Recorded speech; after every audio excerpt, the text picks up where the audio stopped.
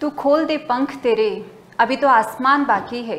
तू खोल दे पंख तेरे, अभी तो आसमान बाकी है। पंखों से कुछ नहीं होता, मेन तो हौसलों में उड़ान होती है। इन्हीं लाइंस के साथ मैं निकिता शर्मा स्वागत करती हूँ आप सभी का एसओसी टॉक शो में। आज का हमारा टॉक शो है उड़ान। और जिसके लिए हमारे साथ ज्वाइन हुए हैं आदरणीय श्री अनिल कुमार सोनी सर।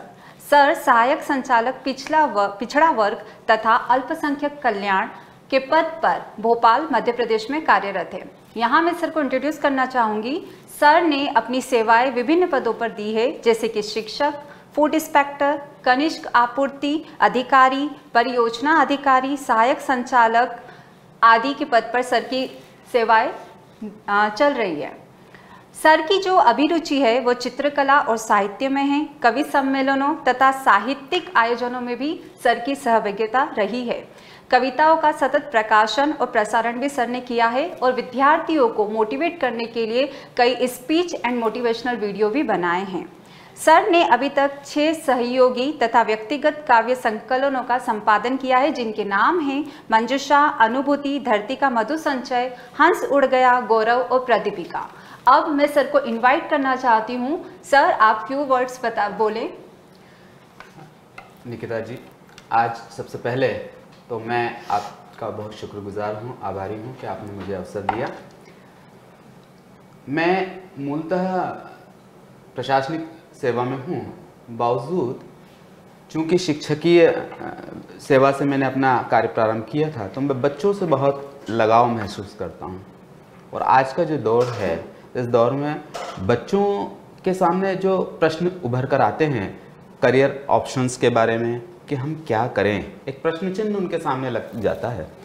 तो जैसा कि आपका कहा अभी आपने कहा उड़ान पंख होने से कुछ नहीं होता हौसलों से उड़ान होती है और मंजिल सिर्फ़ उन्हें मिलती है जिनके सपनों में जान, जान होती है है। ना?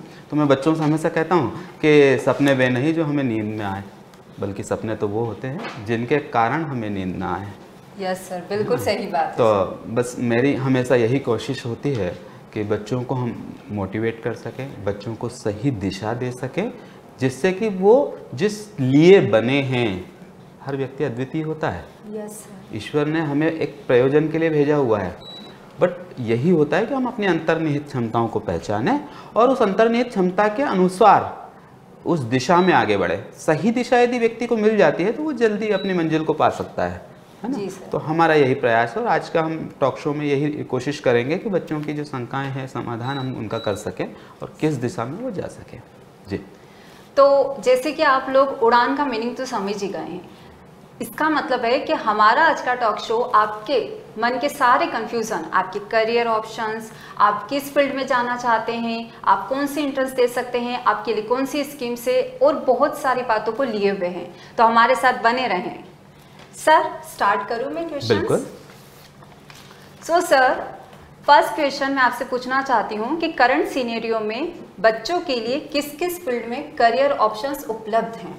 बच्चे क्या कर सकते हैं किस फ़ील्ड में जा सकते हैं? बहुत अच्छा प्रश्न आपका है। सबसे पहले प्रश्न पे अगर हम बात करें आज का जो दौर है उसमें यदि बच्चे टारगेट ओरिएंटेड एजुकेशन की दिशा में बढ़ेंगे तो वो जल्दी लक्ष्य को प्राप्त कर सकते हैं है ना? यहाँ हम दो श्रेणियों में बात कर सकते हैं। एक होता है कि आफ्टर ट्वेल्थ क्या क्या पॉसिबिलिटीज़ है और आफ्टर ग्रेजुएशन क्या क्या संभावनाएँ हैं है ना? क्या होता है कि यदि बच्चे की अभिरुचि थोड़ी देर के लिए मान लें कि उसमें प्रबंधकीय क्षमता अच्छी है प्रशासनिक दक्षताएँ हैं लीडरशिप क्वालिटी है तो ऐसी स्थिति में बच्चा प्रशासनिक सेवा में भी जा सकता है yes, है ना? यदि उसमें मैनेजमेंट की अच्छी पावर है, उसको लगता है कि मैं प्रबंधन के क्षेत्र में बहुत अच्छा कर सकता हूँ, किसी भी इवेंट को मैं बहुत अच्छे मैनेजमेंट कर सकता हूँ तो वो एक प्रशासनिक क्षेत्र के साथ साथ प्रबंधकीय क्षमताओं में एमबीए कर सकता है और उसके आधार पर किसी भी कंपनीज़ में या किसी शासकीय उपक्रम में भी वो अपनी प्रबंधन क्षमता का सही उपयोग कर सकता है। तो इस आधार पर हम देखते हैं कि बच्चों के लिए आफ्टर ग्रेजुएशन बहुत सारी अपॉर्चुनिटीज़ है और इसी प्रकार आफ्टर ट्वेल्थ भी। आफ्टर ट्वेल्थ वो कौन कौन से कोर्सेज करें जिन पर हम अभी चर्चा करेंगे आपके साथ में जिनसे कि वो जो चाहता है उस दिशा में प्राप्त कर सके। जी, जी सर। सर बहुत अच्छे से आपने बताया। फ़र्स्ट क्वेश्चन में आपने बहुत सी चीज़ों की हिंट भी दे दी जो हम आगे डिस्कस करने वाले हैं। सर अब moving towards the second question तो सर आप बताइए कि आफ्टर ट्वेल्थ चाहे बच्चे का साइंस बैकग्राउंड हो कॉमर्स हो या आर्ट्स हो वो कौन सी इंट्रेंस एग्ज़ाम दे सकता है? उसके लिए कौन से ऑप्शंस अवेलेबल बहुत अच्छी देखिए यहीं से दिशाएँ निर्धारित होती हैं। क्या होता है कि जीवन में लक्ष्य प्राप्त करना है आपको तो सबसे पहले तो हमारा टारगेट कैसा होना चाहिए? Crystal clear it should be crystal clear यदि लक्ष्य सही है मंजिल तय है तो रास्ते अपने आप बन जाएँगे। जी है ना। तो हम जब बात आपने भी मुझसे कहा कि आफ्टर ट्वेल्थ क्या क्या संभावनाएँ हैं तो यदि उसका टारगेट क्या है उस टारगेट के अकॉर्डिंग वो ट्वेल्थ के बाद कौन कौन से कोर्सेज कर सकता है कौन कौन सी प्रतियोगी परीक्षाओं की तैयारी कर सकता है किस दिशा में वो जा सकता है ठीक है ना?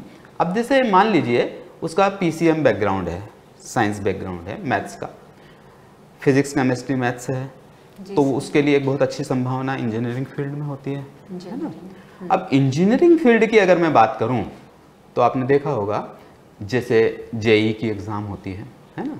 ज्वाइंट एंट्रेंस एग्जामिनेशन दो चरण होते हैं उसके। एक मेंस होता है, एक एडवांस होता है है ना? यदि वो इंजीनियरिंग फ़ील्ड में जाना चाहता है बी बी टेक करना चाहता है, इसमें बहुत सारे अलग अलग स्ट्रीम्स होती है। वो कंप्यूटर साइंस में जा सकता है, इलेक्ट्रॉनिक्स एंड कम्युनिकेशन में जा सकता है, इलेक्ट्रिकल फ़ील्ड में जा सकता है आर्टिफिशियल इंटेलिजेंस ये ऐसे there are so many fields are there in engineering also तो ऐसी स्थिति में उसको जेई मेंस क्लियर करनी होगी। यदि बच्चे में अच्छी संभावना संभावना है इंटेलिजेंट बच्चा है तो वो जेई एडवांस के थ्रू नेशनल इंस्टीट्यूट्स में आईआईटी में प्रवेश पा सकता है। तो इस प्रकार से जब आपने कहा ट्वेल्थ के बाद तो ट्वेल्थ के बाद इंजीनियरिंग एक बहुत अच्छा फ़ील्ड है बी बी टेक के लिए वो उस दिशा में प्रयास कर सकता है। यदि वही साइंस में बायोलॉजी ग्रुप को बिलोंग करता है उसके पास में फिजिक्स केमिस्ट्री बायोलॉजी उसने ऑप्ट किया है तो ऐसी स्थिति में भी बहुत सारे मेडिकल फील्ड्स उसके लिए खुले हुए हैं। नीट के माध्यम से ठीक है? आप देखते हैं मेडिकल फ़ील्ड के में अपार संभावना है। उसमें बच्चा जो है यदि अच्छा क्वालिफाई करता है उसको अच्छे मार्क्स मिलते हैं तो वो एमबीबीएस कर सकता है ठीक है ना? उसके बाद भी ऐसा नहीं है कि केवल एम बी है। आप बीडीएस में जा सकते हैं डेंटल सर्विसेज़ हैं आपके पास में। नीट के माध्यम से ही B H M S homeopathic and modern surgery B U M S है यूनानी चिकित्सा पद्धति है ठीक है ना? इसी प्रकार से पैरामेडिकल के बहुत सारे कोर्सेज हैं जिनमें आजकल हम ये देखते हैं कि जॉब ओरिएंटेड हर बच्चा ये चाहता है कि मैं यदि कोई कोर्स कर रहा हूँ तो उस कोर्स के बाद मेरी जॉब सिक्योरिटी कितनी है। सबसे बद तो जॉब श्योरिटी के लिए वो पैरामेडिकल कोर्सेज भी कर सकता है। पैरामेडिकल कोर्सेज में आज बहुत सारी जैसे अगर मान लो सामान्य अगर हम एक बच्चे का स्तर हमें लगता है कि एक मध्यम वर्गीय मध्यम उसका एजुकेशन क्वालिफिकेशन है तो ऐसी स्थिति में वो जो है डीएमएलटी कर सकता है मेडिकल लैब टेक्नीशियन के लिए। ग्रेजुएशन कर सकता है बीएमएलटी कर सकता है मास्टर्स हो जाता है। इसी प्रकार से अगर वो मान लीजिए ऑप्थेल्मिक में जा सकता है पैरामेडिकल के कोर्सेज है आप देखेंगे फिजियोथेरेपी बहुत अच्छा है। तो ऐसे बहुत सारी संभावनाएँ बायोलॉजी ग्रुप के साथ भी जुड़ी हैं। हमने बात की अभी कि मैथ संकाय का है उसके पास इंजीनियरिंग की न केवल इंजीनियरिंग बल्कि उसके साथ साथ वो बैंकिंग सेक्टर्स में भी जा सकता है। जो मैथ्स ग्रुप होता है क्योंकि आज जो भी कॉम्पिटिटिव एग्ज़ाम्स होती है मैथ्स रीजनिंग उसका एक पार्ट होता है। तो उसके लिए सभी संभावनाएँ खुली हुई है Yes. है ना? ट्वेल्थ के बाद में। वो बैंकिंग सेक्टर्स में भी जा सकता है अन्य दूसरे सेक्टर्स में भी जा सकता है। रेलवे एसएससी आदि अपनी अपनी एग्ज़ाम्स कराते हैं उनको क्वालिफाई कर सकता है ठीक है? आर्ट्स की बात करेंगे हम अगर हम तो आर्ट्स में जैसे मैंने अभी आपको बताया सिविल सेवाओं के क्षेत्र में बहुत अच्छा स्कोप है। तो सिविल सेवा के क्षेत्र में भी जा सकता है। हम सिविल सेवा पर विस्तृत चर्चा आपसे करेंगे कि किस प्रकार से हर राज्य अपनी प्रशासनिक सेवाओं के लिए एग्ज़ाम कराता है। जैसे मध्य प्रदेश कराता है तो एमपीपीएससी है ना? इसी प्रकार से अन्य राज्य भी अपनी पीएससी कराते हैं।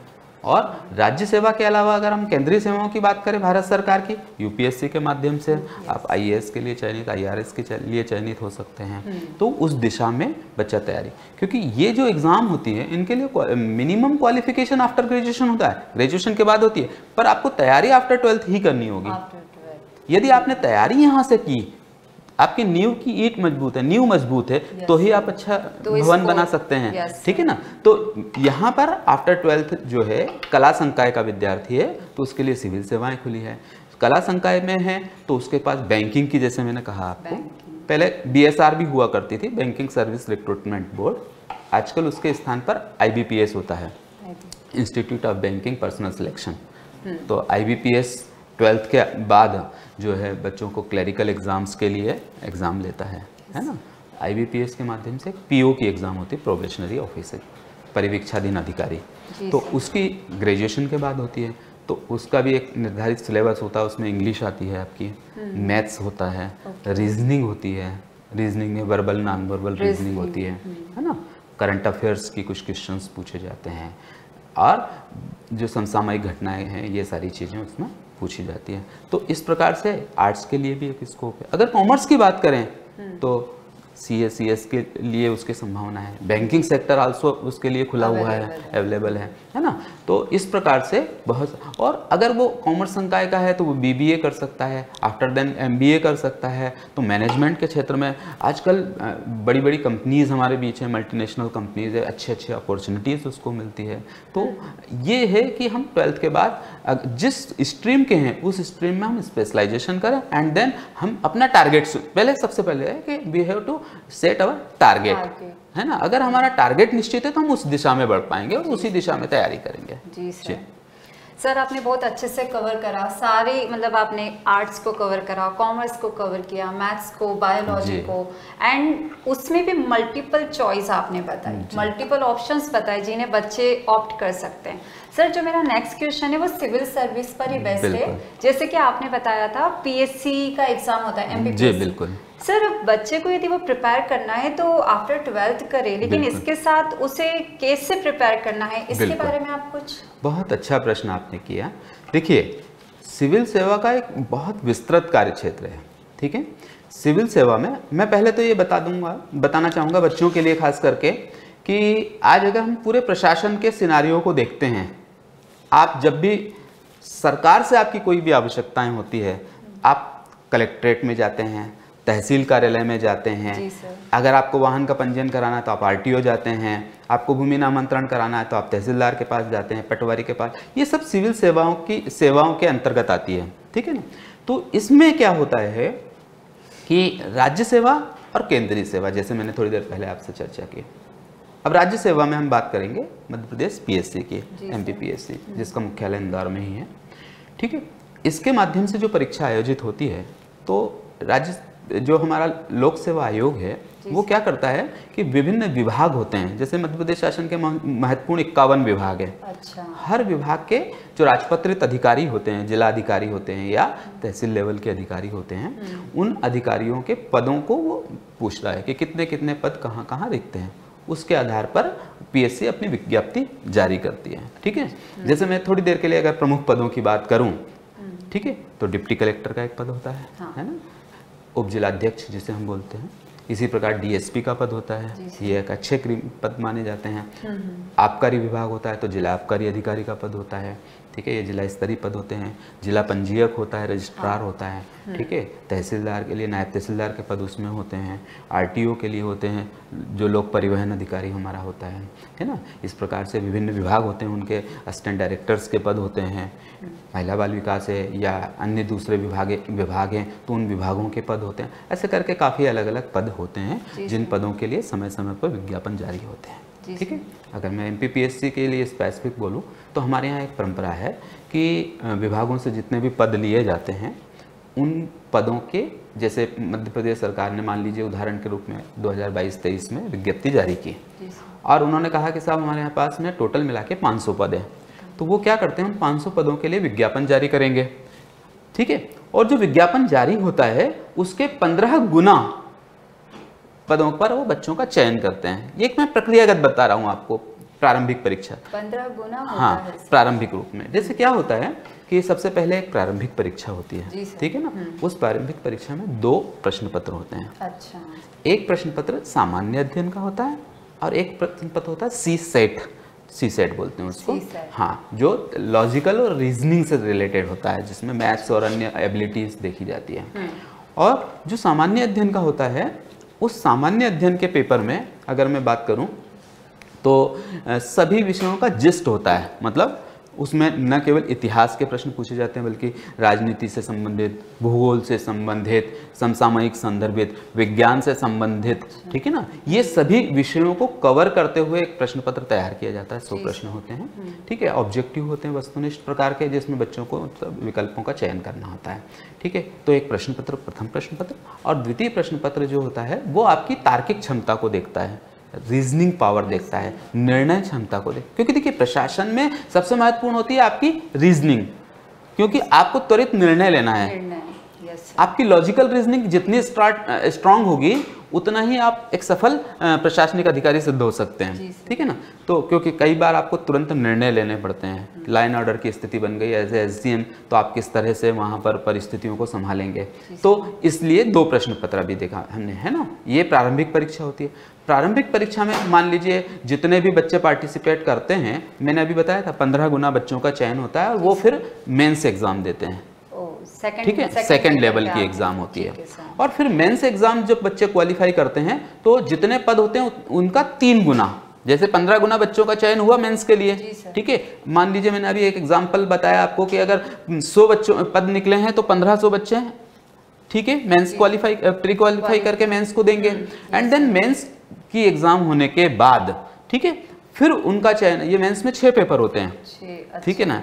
अलग अलग होते हैं। चार प्रश्न पत्र जो होते हैं वो सामान्य ज्ञान से रिलेटेड है। उनका अपना पर्टिकुलर सिलेबस है सामान्य अध्ययन का। चार। ठीक है? एक प्रश्न पत्र जो होता है वो होता है हिंदी का। भाषा का होता है। जैसे हम मध्य प्रदेश में हमने हिंदी ले लिया अन्य राज्य अपने या हमारे पास दूसरे ऑप्शंस भी खुले होते हैं कि हम कोई भाषा ले सकते हैं। ठीक है? और एक निबंध का होता है ऐसे करके छः प्रश्न पत्र होते हैं। मेंस में लिखना होता है आपको जहाँ डिस्क्रिप्टिव है क्वेश्चन आंसर मोड में लिखना होता है। और उसमें से फिर जब मेंस क्वालिफाई करता है तो तीन गुना बच्चों का चयन करते हैं। और अच्छा। उनको फिर साक्षात्कार के लिए आमंत्रित किया जाता है। है ना? तो साक्षात्कार इंटरव्यू होता है। इंटरव्यू में बच्चों का जो भी जितने चयन होने के बाद में जितने पद होते हैं उतने बच्चों का चयन हो जाता है अंतिम रूप से। यानी ये त्रिस्तरीय परीक्षा है। ठीक है? लास्ट में इंटरव्यू लास्ट में इंटरव्यू को है। ना? तो इस प्रकार से ये हमारी राज्य सेवा परीक्षा होती है। ऐसे ही सिविल सेवा परीक्षा यूपीएससी ठीक है? यूपीएससी में भी क्या होता है? लग कमोवेश यही स्थिति है। तीन चरण है। प्रारंभिक परीक्षा मुख्य परीक्षा और इंटरव्यू। ठीक है? इसमें प्रारंभिक परीक्षा में वही दो प्रश्न पत्र है लेकिन मुख्य परीक्षा में दस प्रश्न पत्र होते हैं वहाँ पर। अच्छा हाँ दस। होते हैं दस पेपर होते हैं। और उसमें क्या होता है हमें दो कोई ऑप्शनल सब्जेक्ट चूज़ करना पड़ता है। ठीक है? वो जो दो ऑप्शनल सब्जेक्ट होते हैं उनके दो दो पेपर होते हैं फ़र्स्ट सेकंड फ़र्स्ट सेकंड तो चार प्रश्न पत्र वो होते हैं छह अन्य सामान्य अध्ययन के होते हैं। निबंध का होता है इंग्लिश का होता है रीजनिंग का। ऐसे करके टोटल दस प्रश्न पत्र होते हैं। और उनको क्वालिफाई करने के बाद फिर interview and then final selection होता है। तो एक बहुत अच्छी सेवा है। यदि बच्चे उस दिशा में जाना चाहते हैं तो उनको सबसे पहली चीज़ होती है कि वो अपना जो है जनरल नॉलेज अपडेट रखें। साथ साथ उनका मैथ्स रीजनिंग स्ट्रांग हो। और सबसे महत्वपूर्ण चीज़ होती है वो होती है आपकी कम्युनिकेशन स्किल आपकी तार्किक क्षमता आपका प्रेजेंटेशन यस सर यदि ये अच्छा है तो एक सिविल सेवा बहुत अच्छा ऑप्शन है उनके लिए। यस सर लास्टली तो इंटरव्यू में यही देखा जाता होगा बिल्कुल, कम्युनिकेशन बिल्कुल। एंड प्रेजेंटेशन देखिए तो इंटरव्यू में क्या है वो ज्ञान की परीक्षा ले चुके होते हैं आपकी प्रारंभिक और मुख्य परीक्षा में। यस सर हाँ वो अब पहले हो गया। वो केवल व्यक्तित्व का आकलन करते हैं कि यदि आपको एज ए एडमिनिस्ट्रेटर हमने कहीं बैठाया है किसी पद पर बैठाया है तो वहाँ आप सेवाओं को अंतिम व्यक्ति तक किस तरह से पहुँचा सकते हैं? कैसे आप विपरीत परिस्थितियों का सामना कर पाएँगे? क्या आपकी एबिलिटीज है? ये सब चीज़ें उसमें देखी जाती है है ना? जी सर। जी। सर आपने बहुत अच्छे से समझाया। आपने एग्ज़ाम्स को पेपर्स को एंड पेपर के अंदर आने वाले जो कंटेंट होता है उससे आपने बहुत अच्छे से समझाया। आई थिंक ये सभी को क्लियर होगा कि क्लियर हुआ होगा। जिन जिन बच्चों ने मुझे पर्सनली आके बोला था कि मैम ये क्वेश्चन करना तो ये क्वेश्चन हो गया है एंड आई होप कि आपका आंसर भी आपको मिला होगा। अब हम चलते हैं नेक्स्ट क्वेश्चन की ओर। सर मध्य प्रदेश शासन की स्टूडेंट्स के लिए कौन कौन सी एग्ज़ाम्स है और वो उसके बेनिफिट्स कैसे ले सकते हैं? जी देखिए कौन कौन सी स्कीम्स हैं ना स्कॉलरशिप के लिए? यस हाँ है ना? ठीक है। स्कीम्स है ना? देखिए क्या होता है कि शासन की बहुत सारी और बहुत लोक कल्याणकारी स्कीम्स हैं पर उन स्कीम्स की जानकारी के अभाव में बच्चे लाभ नहीं ले पाते है। ना? अगर बच्चों के लिए मैं बात करूँ तो स्कॉलरशिप की बहुत बेहतर स्कीम्स है। अभी हम बात कर रहे थे कि आफ्टर ट्वेल्थ अगर बच्चा पीसीएम ग्रुप का है और उसका जो है इंजीनियरिंग में सिलेक्शन होता है आप जानते हैं कॉस्टली पढ़ाई है बहुत महँगी है। ठीक है ना? तो ऐसी स्थिति में अगर किसी बच्चे ने जेई के थ्रू इंजीनियरिंग में एडमिशन लिया है और यदि उसका डेढ़ लाख तक भी रैंक बनती है डेढ़ लाख तो मध्य प्रदेश सरकार ऐसे बच्चों को यदि वह पिछड़ा वर्ग का है या अनुसूचित जाति जनजाति का है तो उसकी पूरी फ़ीस इवन प्राइवेट कॉलेजेस की अच्छा। वो रियम्बर्स करती है उसको स्कॉलरशिप के रूप में मिलती है। पूरी फ़ीस पूरी कंप्लीट फ़ीस। इवन आपकी अगर एक लाख रुपए भी है डेढ़ लाख रुपए भी है दो लाख रुपए भी है तो पूरी फ़ीस दी जाएगी। साथ ही साथ यदि आप किसी भी केंद्रीय इंस्टीट्यूट में नेशनल इंस्टीट्यूट में नेशनल इंपॉर्टेंस का कोई भी इंस्टीट्यूट है सेंट्रल यूनिवर्सिटीज़ है है ना आईआईटी है तो या अन्य कोई भी इस तरह के एन हैं तो उसमें प्रवेश लेते हैं तो भी उसमें पूरी फ़ीस इतने बड़े लेवल के लेवल की भी कंप्लीट फ़ीस आपको रिम्बर्स होती है ठीक है? साथ ही साथ ये न केवल आरक्षित वर्ग के लिए मैं बताया आपको अभी S C S T OBC के लिए बल्कि जो सामान्य वर्ग के विद्यार्थी है अनारक्षित विद्यार्थी है जनरल वर्ग के उनके लिए भी ये अपॉर्चुनिटीज़ हैं। बिल्कुल। बट जानकारी नहीं होती है है ना? मुख्यमंत्री मेधावी योजना है। मुख्यमंत्री मेधावी योजना में अगर आपका ट्वेल्थ में 75 परसेंट है एमपी बोर्ड में या सीबीएसई में 85 परसेंट है और उससे अधिक है तो ऐसी स्थिति में मध्य प्रदेश शासन उन बच्चों को मेधावी छात्रवृत्ति योजना के अंतर्गत फ़ीस का प्रतिभुगतान करती है। अच्छा मैं अभी आपको बता रहा था कि जिनकी डेढ़ लाख तक है वहाँ तक तो ठीक था। यदि डेढ़ लाख से बाहर भी है मान ली दो लाख है अन्य मोर देन रैंक है तब भी उनको फ़ीस मिलती है। परंतु उनको गवर्नमेंट की जो निर्धारित दर होती है जैसे अगर इंजीनियरिंग में बात करूँ तो लगभग पैंतीस हज़ार से चालीस हज़ार के आसपास उनको फ़ीस मिल जाती है अच्छा। है ना? यही स्थिति अगर हम बात कर रहे हैं आप बायोलॉजी ग्रुप के हैं आपने यदि एमबीबीएस में चयन होता है आपकी मध्य प्रदेश में अगर सबसे ज़्यादा महँगी पढ़ाई है तो आज की दशा में एमबीबीएस है हाँ है ना? यस एक नॉर्मल कॉलेज की फ़ीस मैंने जो निकाला है पूरे मध्य प्रदेश में आठ लाख से लेके बारह लाख तक एमबीबीएस की फ़ीस है ठीक है ना? तो एमबीबीएस में वे बच्चे जिन्होंने एमबीबीएस में प्रवेश लिया है इवन प्राइवेट कॉलेजेस में गवर्नमेंट का तो पूरा भुगतान करती ही है सरकार किसी भी विषय में लेकिन प्राइवेट में भी यदि आपका एमबीबीएस में चयन होता है और उसके आपके आठ या दस लाख या बारह लाख फ़ीस लगती है पर एनम प्रतिवर्ष तो सरकार पूरी फ़ीस देती है आपको। बारह लाख रुपए प्रतिवर्ष भी हम बच्चों को दे रहे हैं एक लाख रुपए महीना। ठीक है, बच्चों को दे रहे हैं बट किसको देते हैं? उसकी शर्त ये होती है कि वे बच्चे सरकार के साथ एक अनुबंध करते हैं। अच्छा। और वो अनुबंध होता है उनका बॉन्ड भराता है।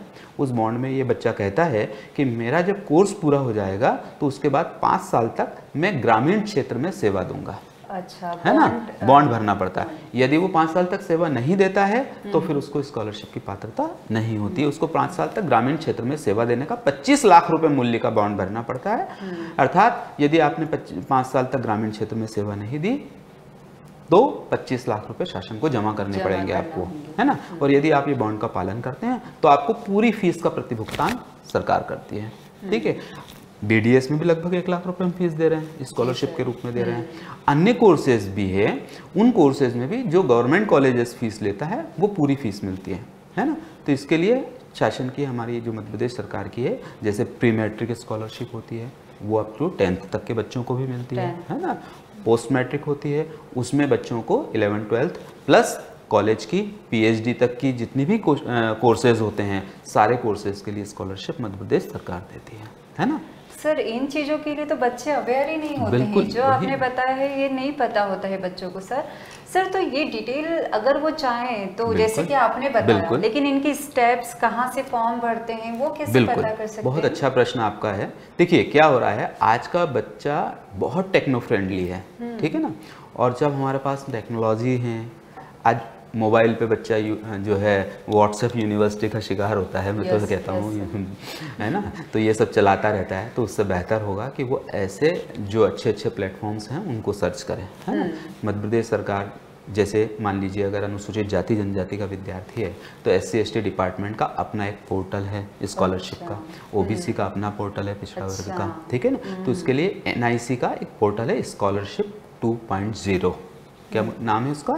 स्कॉलरशिप 2.0 2.0 एक पोर्टल है है ना? उस पर वह जाए गूगल करें उस पोर्टल को जैसे ही खोलेंगे तो उसमें मध्य प्रदेश सरकार की स्कॉलरशिप की जितनी भी स्कीम्स हैं ठीक है वो सारी आ जाएगी। चाहे वो आपके एस सी के लिए हो चाहे ओबीसी के लिए हो चाहे वो मेधावी योजना। मैंने सामान्य वर्ग के लिए भी आपको बताया था कि जो हाँ। प्रतिभाशाली बच्चे हैं जिनका सामान्य M P sorry Madhya Pradesh board M P board में यदि 75 परसेंट से अधिक है और सी बी एस ई में 85 से अधिक है तो ऐसे बच्चों को स्कॉलरशिप मेधावी योजना के अंतर्गत मिलती है तो उनको मिलती है। न केवल यही है बल्कि बहुत सारी स्कीम्स हैं। सिंगल पेरेंट जैसे मान लो कोई है उनकी केवल एक बच्ची है तो ऐसी बच्चियों को भी मिलती है। स्कॉलरशिप सरकार देती है ठीक है?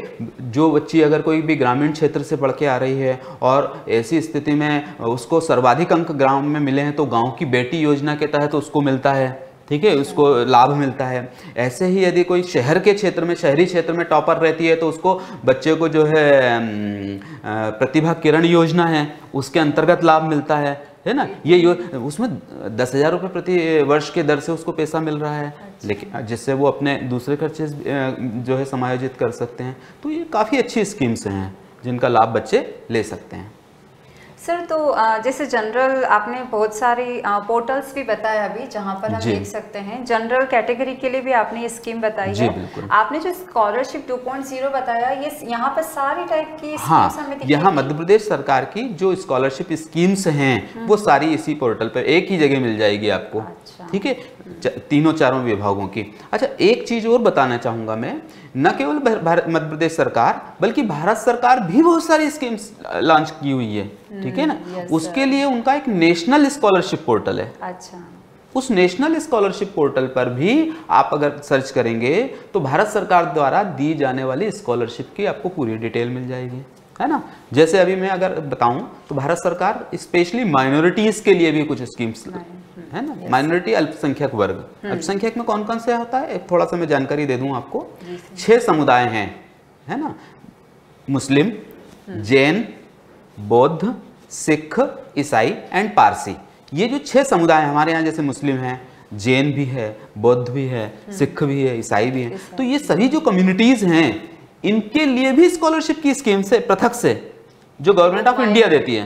ठीक है? उसमें जैसे अभी मैंने बताया आपको माइनॉरिटीज के लिए प्री मैट्रिक स्कॉलरशिप है पोस्ट मैट्रिक स्कॉलरशिप है और एक मेरिट कम मीन्स है। अच्छा। तीन स्कॉलर अभी उसके फॉर्म भरा रहे हैं। आवेदन बच्चा कर सकता है यदि माइनॉरिटी वर्ग का है तो इस समय पोर्टल खुला हुआ है। थर्टी सेप्टेम्बर उसकी लास्ट डेट है। तब तक है ना? तो उसमें वो यदि चाहे तो बिल्कुल आवेदन करें और उसको गवर्नमेंट ऑफ़ इंडिया स्कॉलरशिप देगी। इसमें परसेंटेज का कुछ इम्पोर्टेंस इसमें परसेंटेज 50 परसेंट का रहता है भारत सरकार के और स्टेट गवर्नमेंट में कोई परसेंटेज का बार नहीं है। अच्छा। अच्छा एक चीज़ चूँकि छूट जाएगी अम, मैं आपको बताना चाहूँगा सरकार की तरफ़ से बहुत सारी योजनाएँ हैं। एक योजना इसी से चूँकि स्कॉलरशिप से रिलेटेड है और वो है विदेश अध्ययन छात्रवृत्ति। हाँ वो भी बहुत इम्पोर्टेंट मैं इसलिए इस चीज़ को बताना चाहूँगा कि आज विदेशों में शिक्षा बहुत महँगी हो गई है। ठीक है ना? आप यदि मास्टर्स करते हैं मान लीजिए आपने यहाँ से यूजी किया है ठीक है? ग्रेजुएशन किया है और आप मास्टर्स के लिए विदेश जाना चाहते हैं।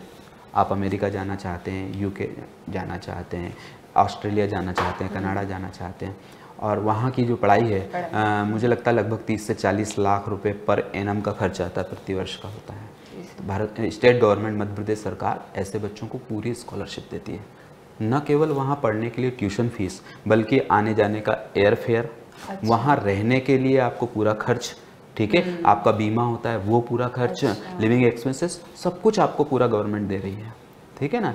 तो इसमें क्या होता है कि मध्य प्रदेश सरकार में जैसे ओबीसी विभाग है तो हम पिछड़ा वर्ग के लिए बच्चों को देते हैं है ना? तो पिछड़ा वर्ग में 50 बच्चों का प्रतिवर्ष चयन होता है और उन बच्चों को पूरी स्कॉलरशिप दी जाती है। 30 लाख से 40 लाख 45 लाख जितनी भी उनकी लगती है प्रतिवर्ष के मान से ठीक है? इसी प्रकार अनुसूचित जाति जनजाति भी बच्चों को चयन करती है और उनको विदेश अध्ययन के लिए देती है। सामान्य वर्ग के लिए भी उच्च शिक्षा विभाग है हायर एजुकेशन डिपार्टमेंट वो स्कॉलरशिप देता है। और मैंने अभी बताया हर वर्ग कवर है। न केवल आरक्षित वर्ग बल्कि सामान्य वर्ग भी हायर एजुकेशन दे रहा है उनको। और साथ ही साथ भारत सरकार जो है वो पड़े पढ़ो प्रदेश के नाम से एक स्कीम चलाती है। उसमें यदि अल्पसंख्यक वर्ग का कोई व्यक्ति है तो उसको भारत सरकार देती है। अच्छा पढ़ो पढ़ो। पढ़ो परदेश। आप जो है नेशनल स्कॉलरशिप पोर्टल पर जा सकते हैं या www.minorityAffairs.com ठीक है? इस पे साइट पे जाएँगे आप भारत सरकार का नेशनल स्कॉलरशिप पोर्टल है। उस पर आपको पूरी योजनाएँ मिलेंगी। वहाँ पर पढ़ो प्रदेश बहुत अच्छी योजना है जिससे आप विदेश में भी अध्ययन कर सकते हैं। जी। सर तो ये स्कॉलरशिप के लिए कोई एक एज लिमिट भी है क्या? मतलब जैसे कि कोई पढ़ चुका है यूजी हो गया पीजी हो गया अब यदि वो कुछ मान लो पीएचडी करना चाहता है थोड़े टाइम बाद तो वो अवेल कर सकता है क्या? ये या फिर वो एज लिमिट को क्रॉस कर गया देखिए तो? वही मैं आपको बताऊँ। अ, अभी क्या हुआ है कि पिछले वर्षों तक तो एज लिमिट का ऐसे विशेष प्रावधान नहीं थे बट इस साल से शासन ने थोड़ा सा इसमें एज लिमिट की है कि अधिकतम 35 वर्ष आयु तक है ना? 35 वर्ष तक आप जो है किसी भी प्रकार की स्कॉलरशिप के लिए पात्र होते हैं। तो उसमें नॉर्मली ग्रेजुएशन करता है बच्चा तो 25-26 साल तक वो कर लेता है कंप्लीट। फिर भी उन्होंने 10 साल का रिलैक्सेशन देते हुए 35 ईयर की है। और कोई भी दो पाठ्यक्रम यदि वो करता है तो उनमें अधिकतम दो वर्ष का गेप। क्या इससे ज़्यादा गैप नहीं होना चाहिए। यदि दो वर्ष का गैप है तो उसको एग्जीक्यूट किया जा सकता है और उसको स्कॉलरशिप की पात्रता होती है। जी सर जी। सर आपने बहुत डिटेल में बताया। इनफैक्ट मुझे भी स्कॉलरशिप के बारे में इतना नहीं पता था सर कि इतनी इतनी टाइप्स की और भारत सरकार की तरफ़ से अलग मध्य प्रदेश सरकार की तरफ़ से अलग इतनी स्कॉलरशिप स्कीम्स अवेलेबल है और आपने उनके पोर्टल्स के नेम भी बताएँ। मैं भी इन्हें सर्च करूँगी सर और बच्चों को इसके लिए अवेयर करने की कोशिश करूँगी। तो थैंक यू सर इस क्वेश्चन के आंसर के लिए। अब नेक्स्ट यदि हम बात करें सर तो यूथ को सेल्फ डिपेंड बनाने के लिए भी कुछ स्कीम्स अवेलेबल है सर क्या गवर्नमेंट सर गवर्नमेंट की साइड से? बहुत अच्छा आपका प्रश्न है कि आज क्या हो रहा है कि हमारे यहाँ एक ट्रेंड है। हर बच्चा आफ्टर ग्रेजुएशन किया उसने अब उसके मन में एक प्रश्न आता है कि मुझे कोई सरकारी नौकरी मिल जाए या कोई प्राइवेट जॉब मिल जाए। जॉब की तरफ़ बढ़ रहे हैं। लेकिन मध्य प्रदेश सरकार ने एक प्रयास किया है। मध्य प्रदेश सरकार ये कहती है कि आप नौकरी लेने वाले नहीं नौकरी देने वाले बनो। हाँ है ना? जी सर तो यदि आप में अंतर्निहित क्षमताएँ हैं तो बहुत अच्छी अपॉर्चुनिटीज़ हैं अवसर बहुत सारे हैं। बस सबसे बड़ी बात होती है कि आपको अवसरों को पहचानना है ना? तो इसके लिए क्या है सरकार ने अभी विभिन्न प्रकार की स्कीम स्वरोजगार की भी प्रारंभ की है है ना? जिसमें मुख्यमंत्री स्वरोजगार योजना होती है है ना? इसमें स्वरोजगार योजना के तहत उद्योग विभाग होता है वो जो है सॉफ्ट लोन उपलब्ध कराता है बच्चों को। जो भी युवा है उनको कि आप कोई भी अपना स्टार्टअप शुरू कर सकते हैं है ना? स्टार्टअप हाँ जिससे आप कोई भी अच्छा आपने मान लीजिए किसी भी फ़ील्ड में ऐसा है छोटे से छोटा अगर कोई किराने की दुकान से लेके कोई कंपनी स्टार्ट करना चाहता है तो सभी के लिए वो लोन की सुविधा उपलब्ध कराते हैं। है ना? साथ ही साथ अभी मध्य प्रदेश युवा उद्यमी योजना भी एक स्टार्ट की गई है। अच्छा। जो युवा उद्यमी हैं उद्यम करना चाहते हैं। यदि आप कोई काम करना चाहते हैं कोई कंपनी स्थापित करना चाहते हैं कोई फैक्ट्री लगाना चाहते हैं कोई शॉप स्टार्ट करना चाहते हैं कोई मैन्युफैक्चरिंग यूनिट स्थापित करना चाहते हैं है ना? वो डोमेस्टिक छोटे से छोटी हो सकती है या कमर्शियल बड़े लेवल पे भी हो सकती है। तो उन सब के लिए जो है जितना आपको आवश्यकता होगी दस लाख तक का भी बीस लाख तक का भी लोन जो है सरकार उपलब्ध कराती है और बहुत इजी लोन होता है। इसमें मैं बच्चों से हमेशा यही कहूँगा कि आप किसी भी दलालों के चक्कर में ना पड़ें क्योंकि एक होती है समस्या। आप सीधे सीधे विभाग में जाएँ विभाग की के साइट पर जाएँ उनके गाइडलाइंस को पढ़ें उनकी अर्हताओं को यदि आप पूरी करते हैं तो निश्चित रूप से आपको लोन मिलता है और आप अपना जो है एक अच्छा बेहतर भविष्य जो है बना सकते हैं। तो सर हम गूगल पे यही लिख के सर्च कर सकते हैं जो योजनाओं के नाम हाँ बताया बिल्कुल आप। तो योजनाओं के लाभ देंगे तो काफ़ी मिल जाएगा। हाँ आप विभाग पे चले जाएँ उद्योग विभाग है आपके पास में ठीक है? तो आप उद्योग विभाग पे जाएँगे तो आपको बिल्कुल सारी योजनाओं की जानकारी मिल जाएगी है ना? तो बिल्कुल आप कर सकते हैं बेहतर भविष्य आपकी प्रतीक्षा कर रहा है। सर इतनी सारी अपॉर्चुनिटीज़ हैं तो बच्चों को अवेयर होना चाहिए और इन्हें जानना चाहिए इन्हें यूज़ करना चाहिए। आ, सर नेक्स्ट मैं आपसे आपके विचार जानना चाहूँगी अग्निवीर योजना के बारे में। हाँ अभी अग्निपथ योजना है? जी सर। अम, आपने देखा होगा कि कुछ दिनों से थोड़ा विवादित भी रही विवादित। है ना? भारत सरकार ने ये कहा कि चार साल के टेन्योर के लिए अम, रक्षा क्षेत्र में ठीक है बच्चों को डिप्लॉय करना है। देखिए क्या होता है कि एक बहुत अच्छी अपॉर्चुनिटीज़ हैं। अगर आपने ट्वेल्थ किया है और इसके लिए लगातार मध्य प्रदेश में अलग अलग जगह भी जो है इसके स्क्रूटनी शुरू हो चुकी है, जिसमें बच्चे, बालक और बालिकाएँ दोनों बहुत अच्छे, उत्साह के साथ भाग ले रहे हैं तो उसमें यदि आप चार वर्ष तक वहाँ पर सेवा देंगे तो आपको एक निश्चित मानदेय सरकार देगी चार साल तक लगातार आपको मानदेय मिलेगा और लास्ट में जब चार साल की सेवाएँ आपकी पूरी हो जाएगी तो उसके बाद आपको लमसम एक अमाउंट मिलता है और जिससे कि आप अपना कोई भी दूसरा प्रयोजन शुरू कर सकते हैं। और साथ ही साथ ऐसे जो बच्चे होंगे उनको विभिन्न सिक्योरिटी सर्विसेज़ में है ना पुलिस में इनमें प्राथमिकता मिल रही है। तो अच्छा। उसके पास में वो स्टेट के अन्य सर्विसेज़ में भी डिप्लाई हो सकते हैं। और देखिए आप में एक बात बताइए कि यदि सत्रह अठारह साल का बच्चा प्रवेश ले देता है और मैं आपसे ये कहूँ कि 17 साल के बच्चे ने भारत सरकार की इस स्कीम के अंतर्गत सेवा ली। और तो कितना साल करेगा वो? 21-22 साल, साल तक वो बाहर होके आ जाएगा। अब 22 साल के बच्चे के हाथ में अगर 30 या 40 लाख रुपए हैं निकलने के बाद हम्म। आज तो बेरोजगार है। बाईस तेईस साल तक के सामने प्रश्न चिन्ह लगा कि what can I do now yes और वहाँ 22 साल का बच्चा 23 साल का बच्चा यदि सेना से बाहर रिटायर होकर आ रहा है और उसके हाथ में एक साथ अमाउंट है तो वो अपने स्वयं के लिए कोई रोज़गार स्थापित कर सकता है। हाँ। उस पैसे से वो कोई अच्छा प्रयोजन शुरू कर सकता है। वो अन्य सेवाओं में जा सकता है और उस पैसे का सही उपयोग साथ साथ भी कर सकता है। तो मेरा ये कहना है कि अच्छी बेहतर स्कीम है और उस स्कीम का लाभ बच्चों को लेना चाहिए। हम्म। जी। यस सर आपने योजना के बारे में तो बताया और वो उसके बाद क्या कर सकते हैं? आपने वो भी बच्चे को क्लियर कर दिया। सर अब बच्चों के पॉइंट ऑफ़ व्यू से मैंने सारे क्वेश्चंस पूछ लिए कि कौन सी एग्ज़ाम कौन सा करियर ऑप्शन स्कॉलरशिप फिर कैसे खुद को डिपेंडेंट बनाए? तो वो सारी योजनाओं के बारे में हमने डिस्कस किया। अब जो बेटा नेक्स्ट क्वेश्चन है वो महिलाओं से रिलेटेड है। बहुत अच्छा सर महिलाओं के लिए भी कुछ ऐसी स्कीम्स है कुछ योजना है और खास करके अल्पसंख्यक महिलाओं की। बिल्कुल बहुत अच्छा प्रश्न आपने किया है। देखिए हमने बच्चों की बात की युवाओं की बात की निश्चित रूप से महिलाओं के बिना ये सब अधूरा है है ना? हमारी मातृशक्ति यदि सही दिशा मिल जाती है तो बहुत सारी चीज़ें हैं। जैसे आपने महिलाओं की बात की अल्पसंख्यक वर्ग की बच्चे महिलाओं चूँकि मैं पिछड़ा वर्ग तथा अल्पसंख्यक जो विभाग है उसमें असिस्टेंट डायरेक्टर हूँ तो हमारे विभाग के माध्यम से जो महिलाएँ हैं उनके लिए सेल्फ हेल्प ग्रुप बनाए जाते हैं स्व सहायता समूह बनाए अच्छा। जाते हैं जिनसे वो छोटे छोटे अपने कुछ ये कर सकते हैं कि लघु उद्योग कर प्रारंभ कर सकती हैं और सरकार उनको उसके लिए ग्रांट भी देती है है ना साथ ही साथ उनमें लीडरशिप क्वालिटी डेवलप करना है हम्म। दक्षता संवर्धन करना है देखिए महिलाओं को यदि आत्मनिर्भर बनाना है तो सबसे पहले उसमें नेतृत्व क्षमता का विकास करना होगा है ना? तो इसके लिए जो है भारत सरकार की एक नई रोशनी एक बहुत अच्छी योजना है। तो जो नई रोशनी योजना है उसके अंतर्गत क्या होता है कि कुछ निजी जो एन होते हैं जिन्हें हम हमारी भाषा में पीआईए बोलते हैं प्रोजेक्ट इम्प्लीमेंटेशन एजेंसी जो नीति आयोग में रजिस्टर्ड होती हैं और वे संस्थाएँ जो है भारत सरकार उन संस्थाओं को एक प्रोजेक्ट के रूप में देते हैं। तो वो महिलाओं के समूह बनाते हैं ग्रुप बनाते हैं 25-25 महिलाओं के और उनमें लीडरशिप क्वालिटी डेवलपमेंट के लिए उनको ट्रेनिंग दी जाती है। अच्छा। है ना? ट्रेनिंग के जो मॉड्यूल होते हैं उसमें उनमें शिक्षा के क्षेत्र में वो क्या कर सकती हैं उनके क्या क्या अधिकार हैं स्वास्थ्य के लिए क्या क्या सुविधाएँ हैं हम्म। स्वास्थ्य की कौन कौन सी सरकार की योजनाएँ हैं उनकी सुरक्षा के दृष्टिकोण से कौन कौन सी योजनाएँ हैं है ना आ, ये सारी योजना महिला बाल विकास की कौन सी योजना है अन्य विभागों के माध्यम से महिलाओं के लिए क्या क्या योजना है उन सारी विभागों की योजनाओं के बारे में महिलाओं को ट्रेंड किया जाता है और जब उनके शिविर लगते हैं, महिलाओं को ट्रेनिंग दी जाती है तो उनमें पर डे उनको राशि भी दी जाती है। है ना?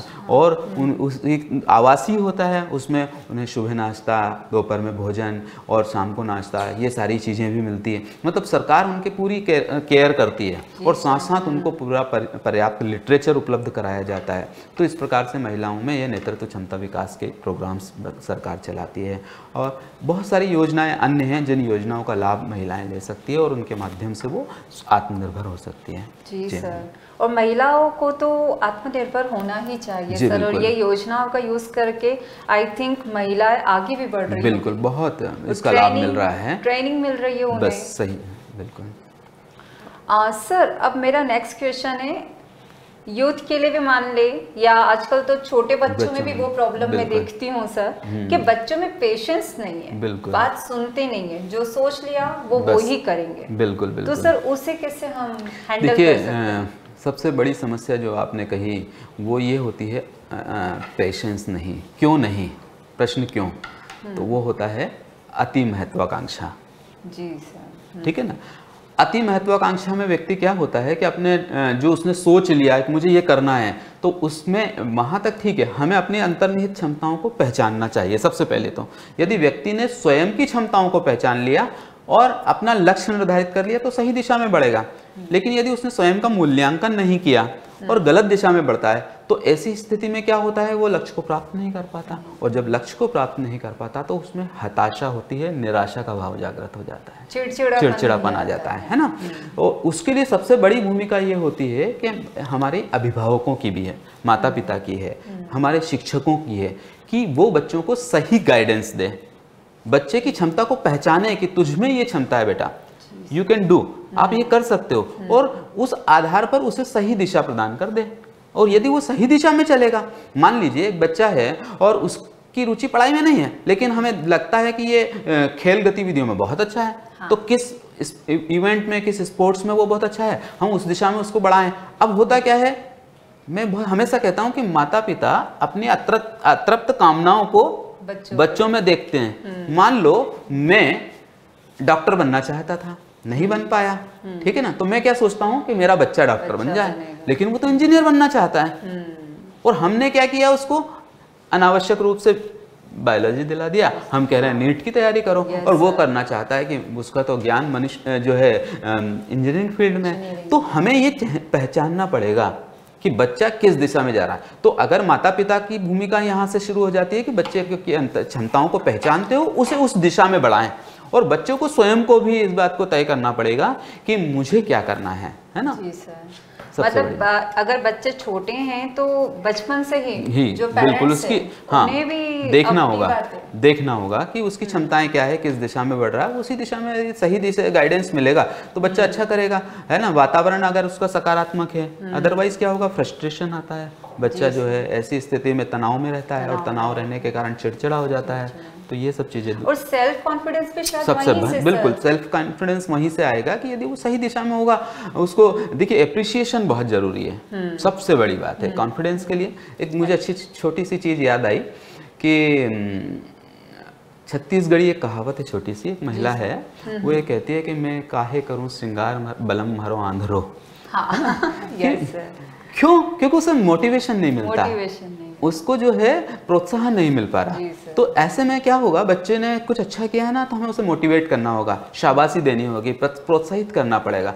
यदि हम बार बार हर चीज़ में उसको झिड़केंगे डांटेंगे फटकारेंगे ये मत करो ये मत करो ये मत करो तो उसमें नकारात्मक भाव पैदा होगा और उसका परिणाम ये निकल के आएगा बच्चे में कोई तनाव होगा फ्रस्ट्रेशन होगा चिड़चिड़ापन आएगा। और फिर फैमिली से भी दूर दूर होगा होता जो बिल्कुल। अप्रिशिएट करेगा बिल्कुल बिल्कुल। इसलिए ज़रूरी है कि हम उनको प्रोत्साहित करें जी सर। बिल्कुल। सर क्वेश्चंस तो मेरे यहाँ पर एंड हो गए हैं बट मैंने कई सेशन देखे आपके। ये शो के पहले मैंने आपके सारे सेशन देखे उन्हें एनालाइज किया उसके अकॉर्डिंग प्रिपेयर किया।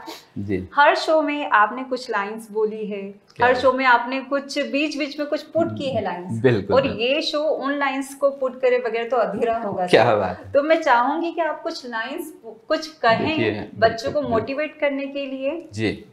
देखिए क्या है मैं हमेशा बच्चे से कहना चाहता हूँ कि आसमां छूना है। हम्म, तो बेखौफ उड़ना सीख लो। जी सर। ठीक है ना? हम्म, और बड़ी ढीठ होती है बड़ी ढीठ है चाहतों की चिड़ैया जी सर। शुभकामनाएँ मंगल कामनाएँ कि आप अपने जीवन में जो लक्ष्य निर्धारित करें उस लक्ष्य को प्राप्त करने के लिए ध्यनिष्ठ होकर चलते रहें।